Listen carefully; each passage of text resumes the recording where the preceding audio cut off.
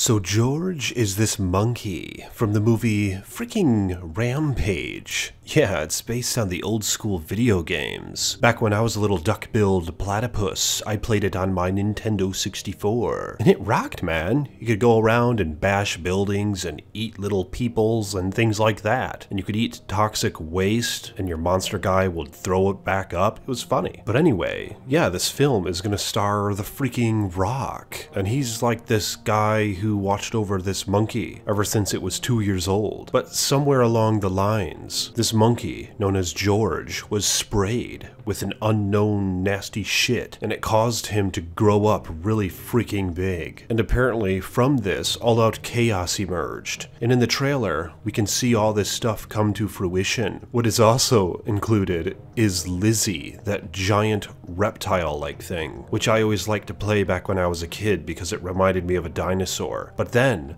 Ralph, the wolf, came to the game. And I like to play as that one then, because I mean, it's a wolf and it looks freaking badass and extremely dangerous, especially if you consider its sharp teeth. But nonetheless, all three of these monsters are going to star in this film, and it looks like it's going to be a fun flick. There's a lot of jokes in the trailer, and it doesn't seem to take itself too seriously. And there's going to be monsters, like these big guys. I don't know how big they're going to get. It doesn't seem like they're going to even compare to, say, the size of Godzilla or King Kong. But nonetheless, it'll make for an interesting variety. Seeing how they're smaller, they can fit through more narrow corridors, and bring on a fear factor that's different from what we'd get with giant monsters like Godzilla and King Kong. But it's hard to see what's actually going on here in terms of the plot. If George, the gorilla, is the good guy, and Lizzie and the wolf are the bad guys, and does The Rock only care about George, or does he also care about the other monsters? It's hard to tell. But yeah, this movie looks action-packed. Some toys have been released on these things as well, and they look pretty cool. George, the giant ape, in fact, looks very similar to the Kong Skull Island toy of Kong that was actually made by the same company. But what do you guys think of this film? Have you played the game back when you were little duckbills?